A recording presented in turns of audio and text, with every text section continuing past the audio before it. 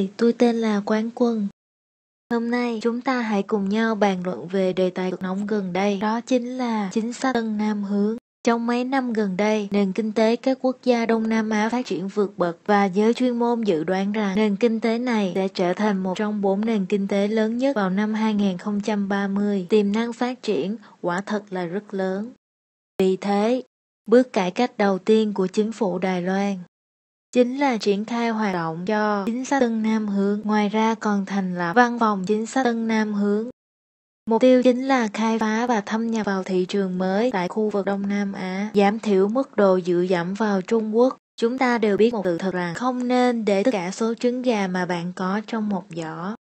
Mấy năm gần đây, với sự suy thoái kinh tế ở Trung Quốc dẫn đến việc chi phí lương và thành phẩm tăng cao, cũng như ảnh hưởng đến các vấn đề chính trị và pháp luật liên quan khác. Số vốn đầu tư của doanh nghiệp Đài Loan tại Trung Quốc bắt đầu từ năm 2011 đã giảm dần trong vòng 4 năm liên tiếp. Rất nhiều đài thương đã giảm số vốn đầu tư tại quốc gia đông dân này và tăng cường hợp tác phát triển kinh tế với các quốc gia Đông Nam Á. Do đó, 6 quốc gia Đông Nam Á trở thành đối tác thương mại quan trọng thứ hai của Đài Loan và vị thế ngày càng quan trọng. Muốn phát triển chính sách nam hướng thì việc quan trọng nhất chính là nhân tài.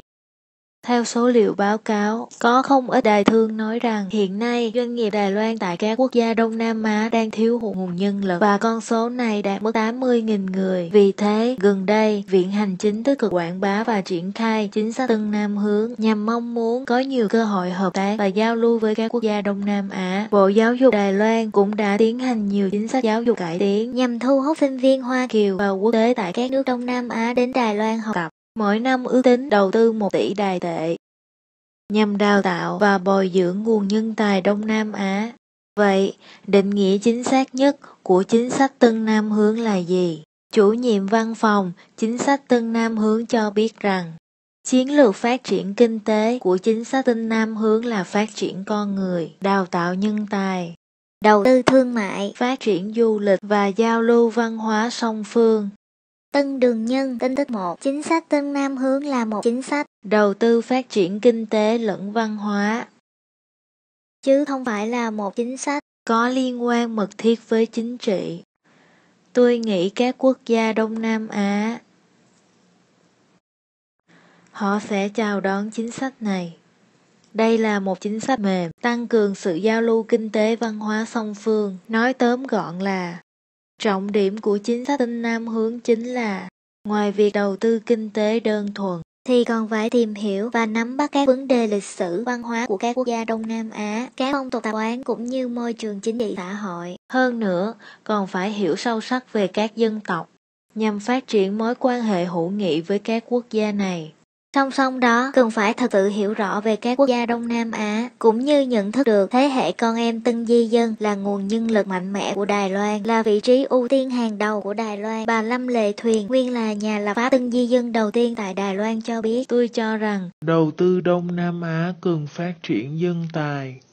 Có độ nhạy bén cao về văn hóa, Thật ra, Tân Di Dân là người Đài Loan và cũng là người Đông Nam Á. Như tôi vậy, tôi hiểu rõ những vấn đề được xem là tế nhị tại Campuchia, những gì không được phép nói và đề cập đến. Những vùng đất nào không được mua. Chúng tôi đều nắm rất rõ những vấn đề này. Chẳng qua, chúng ta đều cần phải đào tạo nguồn nhân lực tài năng này. Trước mắt, số lượng tân di dân tại Đài Loan đạt con số trên mức 500.000 người. Con em tân di dân vượt mức 350.000 người. Đặc biệt là con em tân di dân được sinh ra và lớn lên tại Đài Loan. Sở hữu cả ngôn ngữ và văn hóa của Đài Loan, cũng như Đông Nam Á. Con em tân di dân nếu tận dụng được thời thế của mình và phát huy chúng tại các doanh nghiệp Đài Loan tại Đông Nam Á. Một mặt là khai phá và xâm nhập thị trường mới, mặt khác là nâng cao và quảng bá hình ảnh doanh nghiệp Đài Loan thì đối với con em tân di dân, đây là việc mở mang kiến thức và phát triển sự nghiệp cho chính bản thân các em, nhằm phát triển tiềm năng của con em tân di dân. cung cấp nhiều cơ hội việc làm, đẩy mạnh sự tham gia của xã hội và tăng cường cạnh tranh quốc tế. Sở Di dân đã đặc biệt thiết lập chính sách phát triển toàn năng cho tân di dân và phải vận hành sử dụng quỹ phát triển tân di dân, giúp tân di dân phát huy lợi thế văn hóa và ngôn ngữ. Tăng cường sự tự tin cũng chính là tăng cường nguồn nhân lực cho Đài Loan. Chính sách phát triển toàn năng cho tân di dân gồm có 5 khía cạnh lớn chính là phát triển ngôn ngữ, cơ hội việc làm cho tân di dân, đào tạo nhân tài cho con em tân di dân, dịch vụ đa văn hóa và dịch vụ hỗ trợ tân di dân trên khắp Đài Loan. Về việc phát triển ngôn ngữ, chủ yếu là việc học tập tiếng Trung và tiếng Đông Nam Á. Cơ hội việc làm cho tân di dân bao gồm các công việc như hướng dẫn viên du lịch, nhân viên tiếp tân hoặc chăm sóc, người giúp các công việc đồng án hoặc gia đình và đội ngũ giảng viên ngôn ngữ Đông Nam Á về đào tạo nhân tài cho con em tân di dân, gồm việc giao lưu quốc tế, trải nghiệm cuộc sống nước ngoài, nghiên cứu trong nước, thực tập vân vân.